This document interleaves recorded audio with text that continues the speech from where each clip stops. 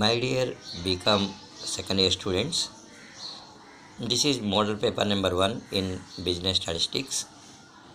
If possible, try to answer this paper.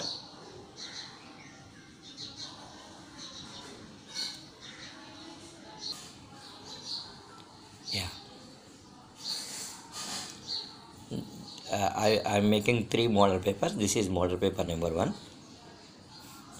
For practicing, this is good. Uh, preparing these kind of questions will increase your confidence and confidence level. You have to answer model paper 2 also, which is releasing soon. Yeah, can see.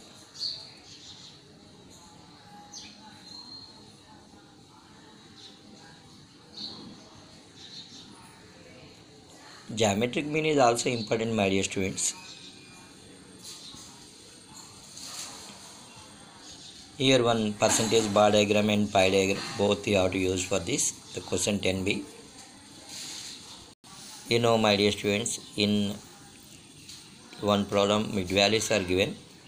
You have to convert mid values into class intervals.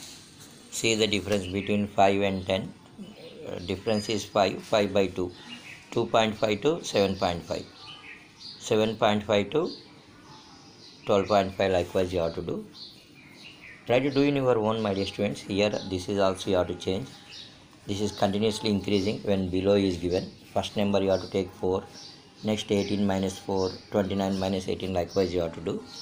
Because see this is increasing ascending frequency. Wishing you all the best my dear students. If you have any doubts feel free to ask me yeah, this time I have given concurrent deviation. When you have to find out probable error, you have to calculate the correlation. PE is equal to 0.6745 into 1 minus r square by under root n. Yes.